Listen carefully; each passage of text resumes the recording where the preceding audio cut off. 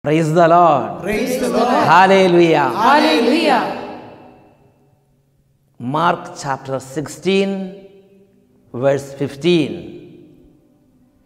Jesus said to them, Go into all the world and proclaim the gospel to the whole creation. Dear sisters and brothers in Christ, our Lord Jesus entrusted us a mission to proclaim gospel to the whole creation. It is the only mission Jesus entrusted his church. Proclamation of his gospel. Hallelujah. Hallelujah. Hallelujah. Hallelujah. Today we are going to hear about why you stay idle all the day. Now let us stand up and let us praise God for some time. Let us worship our God with the team members together. Hallelujah. Hallelujah. Hallelujah. Hallelujah. Hallelujah. Hallelujah. Glory, glory, glory, glory, glory, glory. Hallelujah. the Spirit of the Lord is in my soul, like David the shepherd, I will sing. If the Spirit of the Lord is in my soul, like David the shepherd, I will sing. Glory, I will glory. sing, I will sing. Like David the shepherd, I will sing, I will sing, I will sing. Like David the shepherd, I will sing.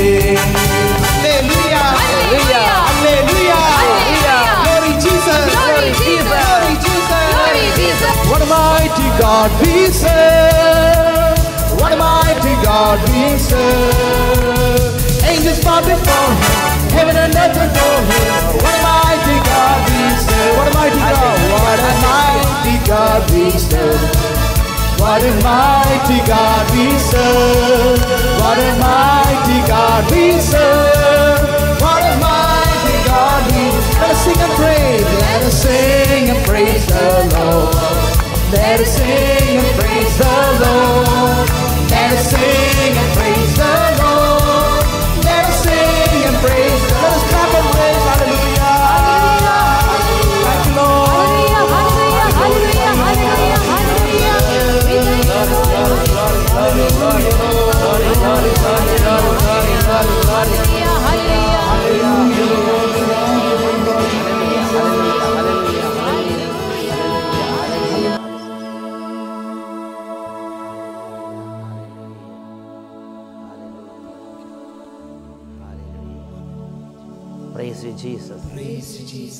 Glory to God. Hallelujah. Hallelujah. Hallelujah. Hallelujah. Hallelujah. Hallelujah.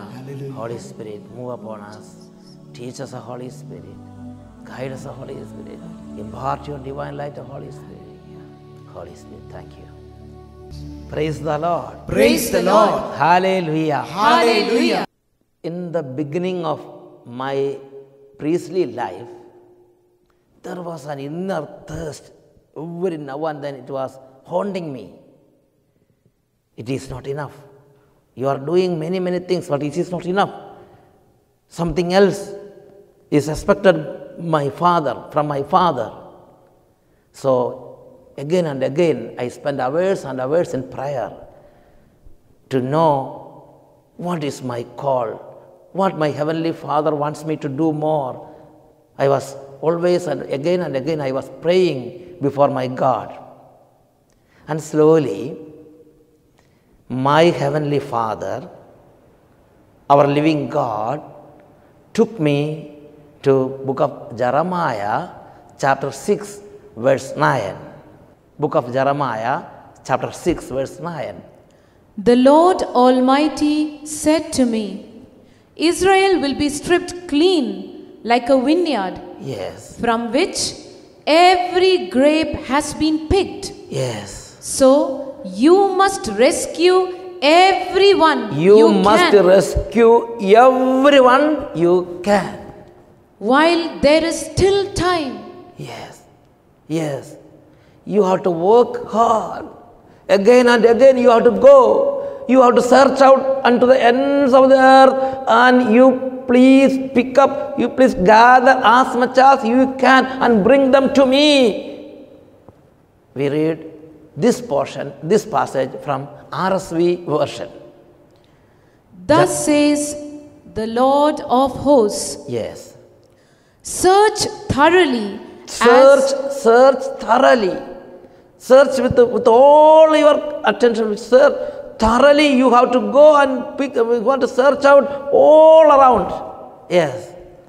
as a vine, the remnant of Israel, Yes. like a grape gatherer, Yes. pass your hand again and again over its branches. Yes. Lord is Lord was asking me. Again and again you go and search for the lost ones. Gather those who are lost and bring them to me as an offering. And I surrendered my life. Then my Lord said to me, It is not you, but I myself will work through you. Book of Isaiah, chapter 56, verse 8. Thus says the Lord God, who gathers the outcasts of Israel. Yes, it is the Lord Himself who gathers the outcasts, who gathers the lost ones. Yes, once again, let us read. I will gather others to them besides those already gathered. Yes, it was the deep desire of my heavenly Father. He want to gather again and again, and he come, he called me to do to take over this desire of my heavenly Father. And I said, Yes, Lord, yes, Lord, I am ready. I don't know what to do and how to do, but I am ready. I was doing my priestly ministry in a remote village. I didn't have any idea of world evangelization. Praise the Lord. Praise the Lord. Hallelujah. Hallelujah. So, when I started my ministry, when I started to preach word of God to gather the lost souls, I, I, I, I, could experience the pleasure, the love of my Father in a special, in in a particular way. It is always following me. Do you want to do you want to experience the love of your father in a tender way? Do the ministry of the salvation of souls. God is asking, why you stay idle all the day? He is not at all pleased with them who stay all their life idle without doing anything for the salvation of souls. Our Father is not at all pleased with them, just definite according to the word of God. Let us examine the life of our Lord Jesus Himself. Mark chapter 1, verse 15. There we read like this The time is fulfilled, and the kingdom of God has come near. Repent and believe in the good news. Hallelujah. Hallelujah. Hallelujah. Hallelujah. Jesus started his preaching ministry there. And all his life, until the, last breath of his life, he was immersed in the ministry of his Father, proclaiming the good news. He collected 12 and entrusted the mission to go and preach. They went around and they began to preach. Praise the Lord. Praise the Lord. Gospel of St. Luke, chapter 10, verse 1 and 2. After this, the Lord appointed seventy others and sent them on ahead of him in pairs to every town and place To every town and place. where he himself intended to go. Yes. He said to them, The harvest is plentiful, but the laborers are few. Yes. There was a pain in his heart, in the heart of Jesus. There are not enough laborers. Harvest is plentiful, but Nobody is there to gather. Nobody is there to work in the field. So he asked, Pray to the Lord to send laborers to the field. We, have, we, we should have a pain in our heart about our, our deadly indifference towards the evangelization work. We, we, we, are- we, we not at all, we are not at all used to think or used to go out of our uh, boundary. We are confined, we are satisfied within with what we have. We have to go, we have to search out, we have to collect all those who lost, all, all those who are lost. That is the best thing that pleases our Heavenly Father. When our Jesus was going, uh, ascending to heaven, the last time, the la- at, the, at the last time when he was with his disciples, he said to them from his heart. Let us read Mark 16, verses 15 and 16. And he said to them, Go into all the world and proclaim the good news to the whole creation. The one who believes and is baptized will be saved, but the one who does not believe will be condemned. My dear sisters and brothers, are we doing that? It is the only mission our Lord Jesus entrusted the church. Every Christian is duty bound to proclaim the word of God, and every Christian is duty bound to do the ministry of work of salvation of souls. Hallelujah. Hallelujah. Hallelujah. Hallelujah. We need to preach to the families. We need to preach to the Gentiles. We need to preach to the children. We need to preach to the young adults. I invite uh, uh, Ainish to share her experience among, when uh, she was working with the young adults and children. Praise the Lord. Praise the Lord. Hallelujah. Hallelujah. I remember a couple of weeks ago, a young boy, just 17 years old, his name is Augustine. He came to attend the retreat not because of his own will, but his parents had forced him to attend that retreat. So we observed one thing that while we were preaching the word of God, he was not to be found in any of the sessions. He was sleeping in his room. We did not force anything on him, but we kept on praying to the Lord Jesus to touch his heart. And after two days, as he came for the adoration, before that, he was hearing the word of God for one session. After that, he came for the adoration. He was lying down on the floor as if nothing touched him.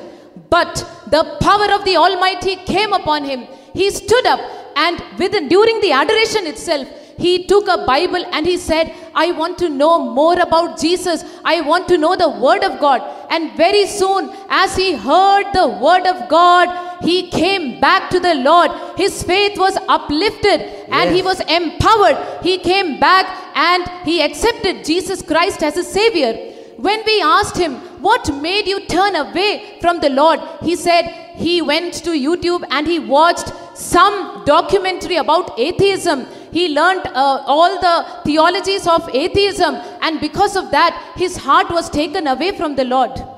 But thankfully, because he heard the word of God, the word of God pierced his heart. That is why in Hebrews chapter 4, verses 12, the word of God says that the word of God is living and active.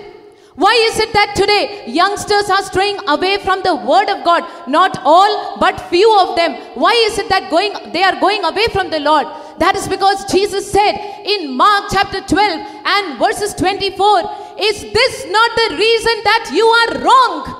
Because you know neither the scriptures nor the power in the word of God.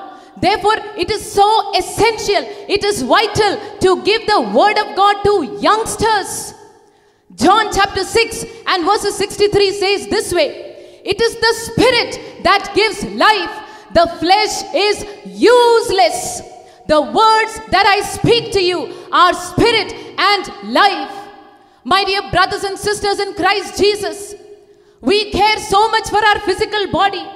We give uh, food to our body when our children are hungry time to time we keep giving them food because they are hungry. Exactly like that. Our children, our youngsters, they have a soul.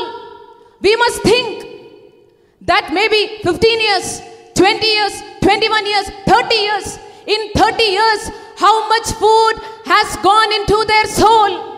Their soul is crying out for the word of God. Therefore, we have to be responsible.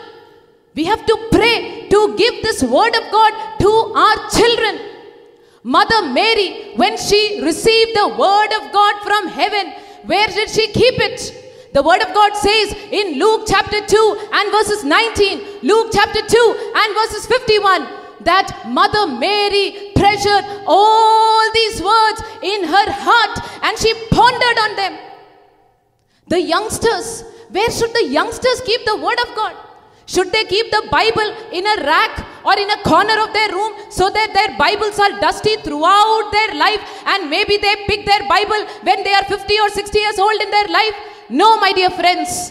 The word of God says in Psalm 119 verses 9, how? How can young people keep their ways pure? And the answer is given in Psalm 119 verses 11.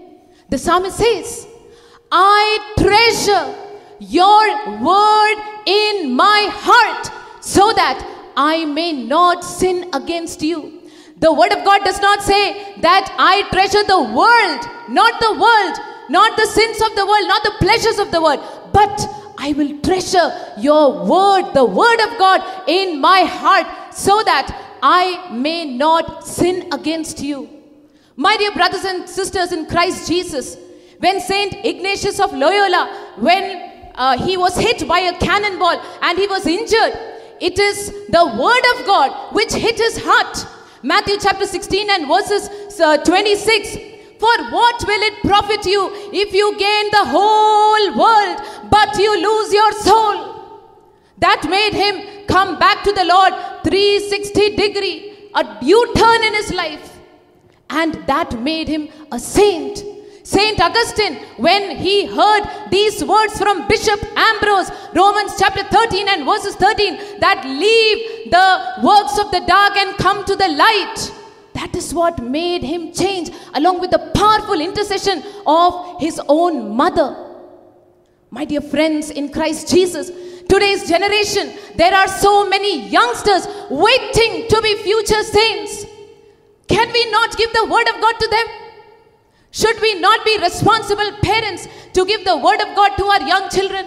Therefore, let us take this initiative and encourage our children to listen to the word of God, to, to uh, attend conventions and retreats and hear the word of God. Let us pray to the Almighty that the word of God may enrich them. Colossians 3:16 that the word of God may dwell richly in their hearts.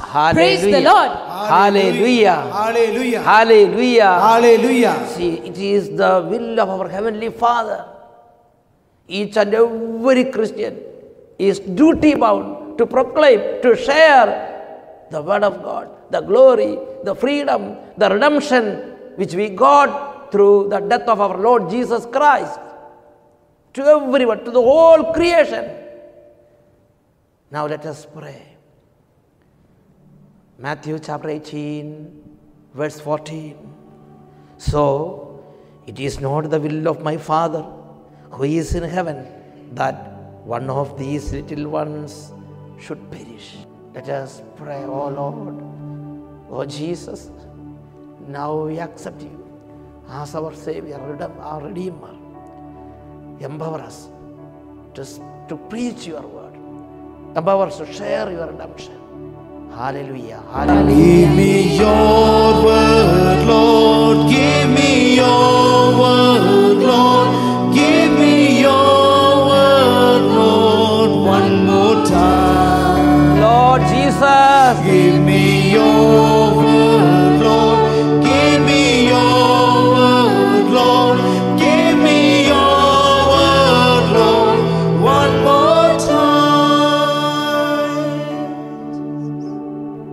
Time. Hallelujah. Hallelujah.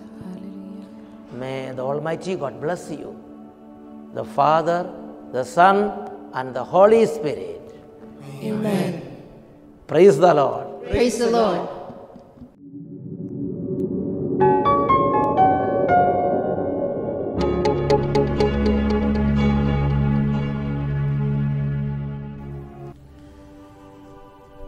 Now let us accept Jesus as our Redeemer.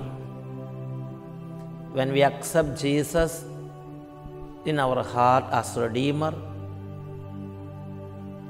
there is the mighty intervention of God. There will be. So, as far as possible, as you can, call the name Jesus and accept Him as, uh, as Redeemer of our personal life. Jesus, you took away all our sins and you died on cross for me, and by your death I am redeemed. I believe that. I accept you as my Savior. Hallelujah. Hallelujah. Hallelujah. Jesus, Lamb of God,